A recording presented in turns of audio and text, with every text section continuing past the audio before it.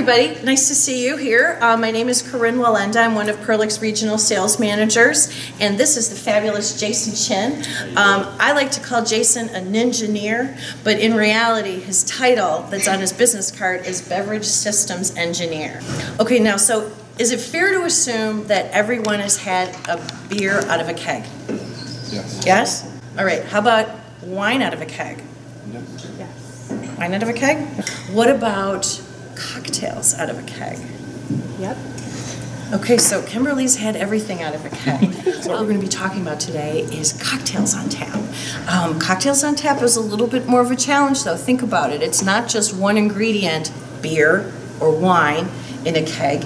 It's what? It's multiple ingredients. Each ingredient in the cocktail has a different level of viscosity. That means it's going to separate very quickly. And so what you need to do um, is keep things mixed in there. Now, how have folks who've been doing cocktails on tap been keeping their uh, kegged cocktails mixed? They paid the strongest guy in the bar to come out and shake this thing.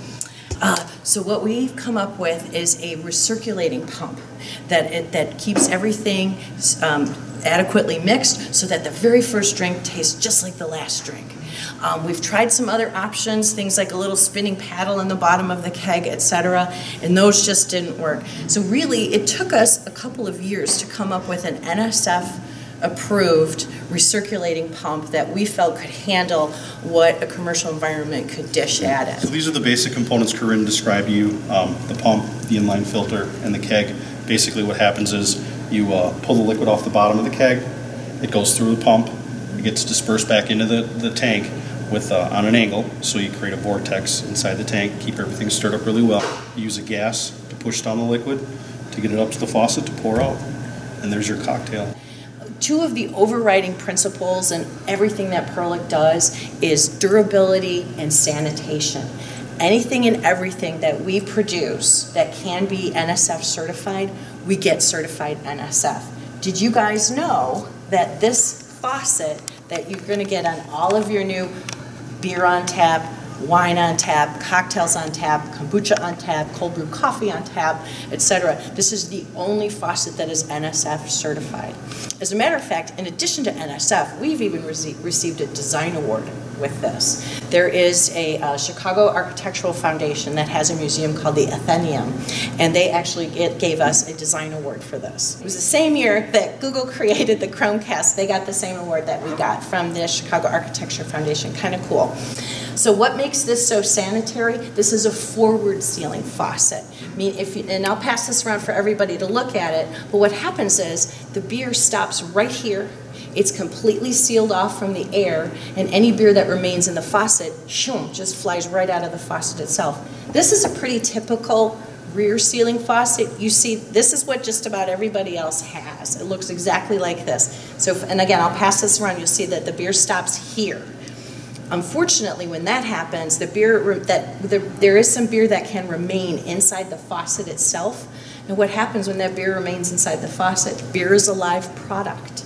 It's got yeast in it. It's live.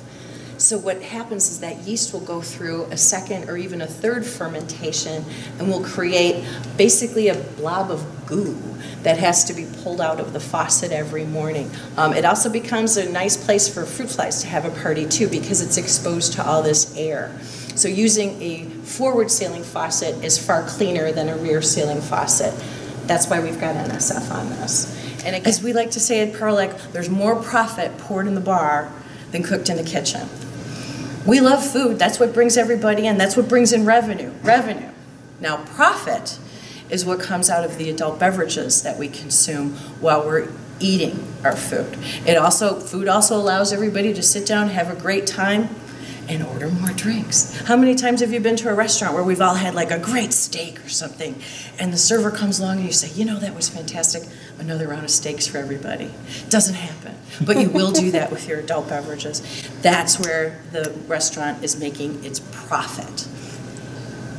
Um, I also like to tell folks that um, it's, it's absolutely critical that you've got a really well-designed bar program. Why? Because if you're not making at least 80% profit margin on what's, what you're serving in the bar, you're doing something very wrong. Now, in a bar, time is money. So being able to serve cocktails very quickly out of a tap, maybe just a featured cocktail, maybe it's just one or two that you're going to offer, makes a whole lot of sense because you're quickly serving something that would ordinarily, ordinarily take maybe a minute for a bartender to shake it up, strain it, pour it, put it over ice, etc. Out of a keg, maybe 10 seconds, little ice, little garnish, boom, there you go. It's all about the money, and that makes bartenders happy, and that makes bar owners happy, absolutely.